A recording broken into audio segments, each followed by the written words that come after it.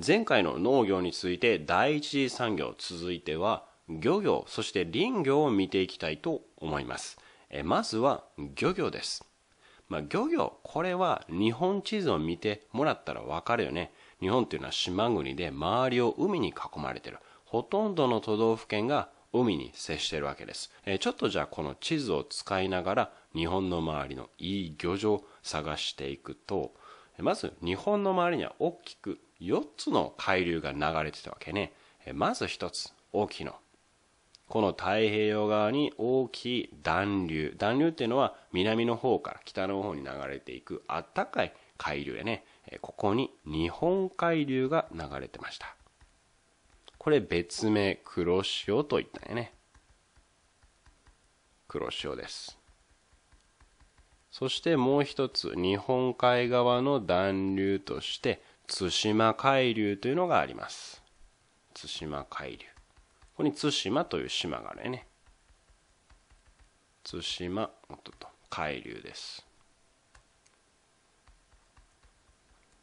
そして暖流だけじゃなくて日本海側太平洋側にそれぞれ寒流が流れてます、えまずこっちに流れてきてるのがリマン海流やね。リマン海流です。そして太平洋側こっちは千島海流が流れてます。これは別名親潮と言いました。まあ、こういうふうな海流が日本の周りを流れてることでこの海流に沿って養分が運ばれてきたりさらにその養分を追って魚が運ばれてくると、えー、特にこの、え、寒流と暖流がぶつかるあたりこの辺っていうのは潮目と呼ばれるいい漁場になってくるんやね潮目です、まあ、特にこっちの太平洋側まあ、ここはリアス式海岸にもなってて、ここはまた新、えー、詳しく東北地方でやるんやけど、リアス式海岸にもなってて、日本でも有数の三陸海岸沖っていうのは、いい漁場になってます。海流もぶつかるし、海岸線もいい形になってると。え、そしてもう一つ日本がいい漁場になってる。日本の周りがいい漁場になってるのは、大陸棚っていうのがあるわけです。え、これ何かっていうと、あんまり海が深すぎると、逆に漁業ってやりにくいんやね大陸棚っていうのはだいたい海抜が200メートル未満のあたりのことです深さがね200メートル未満の漁場です、え、ここの範囲っていうのはやっぱり日がよく届くのでプランクトンも育ちやすいしプランクトンが育つってことは小さな魚がやってくる。小さな魚を追いかけて大きな魚もやってくるということで日本の周りは本当に海流にも恵まれ大陸棚にも恵まれていい漁場が広がってます。まあ、でもこの日本の漁業確かに周りいい漁場を持ってはいるんやけどやっぱり農業と同じで課題もあるんです。え、まず一つ。これは特に、まあ、しばらく前やね、え、1980年代ぐらいから、え、日本で円高が進んだ。まあ、これはちょっと難しいのでいいんやけど、え、その円高が進んだことで、水産物の輸入が増えることになりました。え、日本は確かにたくさん、え、漁港もあって漁業が盛んな国ではあるんやけど、それと同時に水産物の輸入大国でもあるんです。エビとか本当にたくさん東南アジアの方から輸入をしてます。これが増えてきたことによって国内の漁業っていうのは少し衰退をしてしまいました。そしてもう一つ国際的な動きとしてあるのは漁業の規制です。まあ、日本ほど漁業にこうなんていうのね魚を食べるっていうことに熱心な国ってそんなに多くはないので海の資源をむしろ守っていこうと。魚もそんなむやみに取ったらあかんよと。そういう動きが国際的に進んできてるんです。まあそういった中で特に遠洋の方遠くの海に行って漁業をするということが難しくなってます。え特に最近では原油。え船を出す時の燃料になるやつやね。それの値段も上がってきてるので遠くでの漁業遠洋漁業っていうのは難しくなってきてるんです。えそれに対してどうしてるかっていうとちょっと狭くなってきちゃったな。それに対してどうしてるかっていうとこれまでは、え遠くに行ったり、まあ、近くでもそうやねんけど魚を取ったり貝を取ったり取る漁業が中心でした、えこれを日本は育てる漁業へと変えていこうとしてます。育てる漁業です。え具体的に何かっていうと大きく分けると2つやね。1つは養殖業です。養殖業です。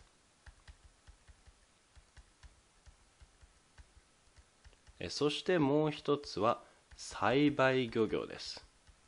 まあ、取る漁業からこういった養殖業や栽培漁業に変えていこうとしてるわけやね。養殖業。栽培漁業。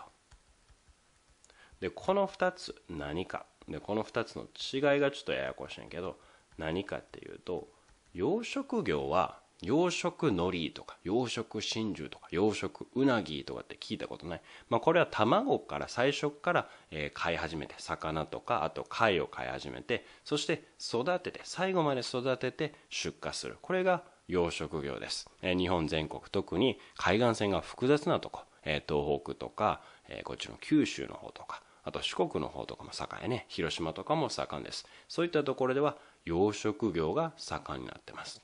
栽培漁業は何かっていうとこれは最後まで育てないんです。この2つの違いってどこまで育てるかね、え、栽培漁業では子供の頃まで育てます。卵を返してある程度大きくなるまで魚とか貝を育てる、え、そしたらその魚とか貝子供の魚とか貝を海に放してしまうんです、え、そしてしばらくしてから大きくなってから取りに行くと、まあ、途中まで育てることで水産資源海の資源を守ることができるわけね、え、大きくこの2つの漁業が育てる漁業と呼ばれていて、えー、取る漁業から育てる漁業へと日本の漁業は変わっていこうとしてるんです。それじゃあ次林業はどうか。まあ、漁業っていうのは課題もありながら新しい形に変わっていこうとしてるわけやねんけど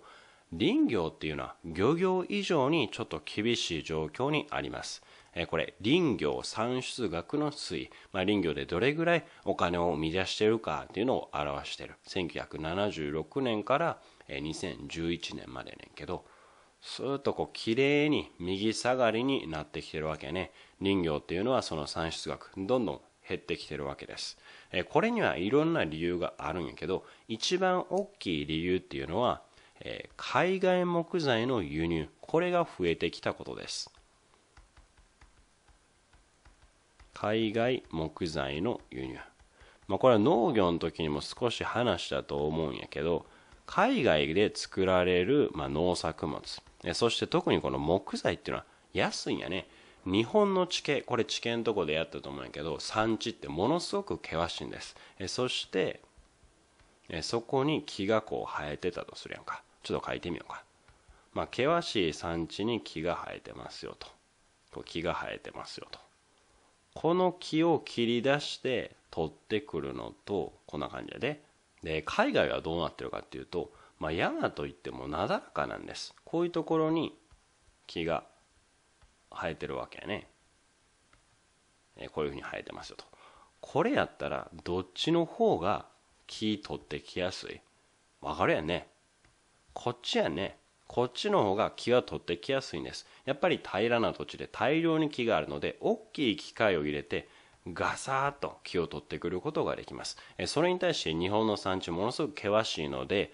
機械大きい機械を使うことはほぼ無理です。人が一人一人入ってってもう手作業で切っていくと。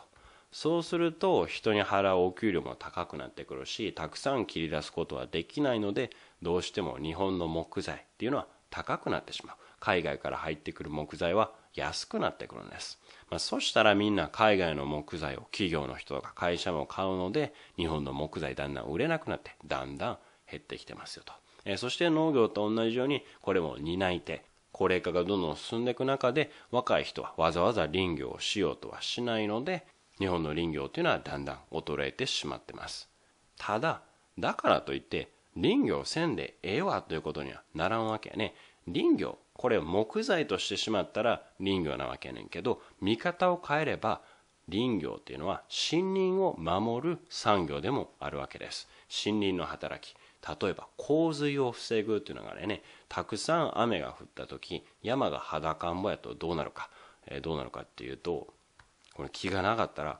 ブワーッと雨がそのまんま流れてきてしまうわけね。降った雨がどんどんそのまんま流れてしまうことになります。洪水が起きやすくなる、えこういった森林っていうのはやっぱり自然な森林の方が人工的に作った森林よりも、え保水する力洪水を防ぐ力っていうのは大きくなってくる、えそれにこういった豊かな森林があることで、まあ、川から雨が降ったところ川から流れてくるね。そして最終的に海にたどり着きます。海にたどり着いた時にこの川っていうのが森林で蓄えた養分っていうのを運んできてくれる。ここから実は林業と漁業つながってくるね。そして日本の周りの豊かな漁場が作られてくるわけです。こういった自然環境を守るためにも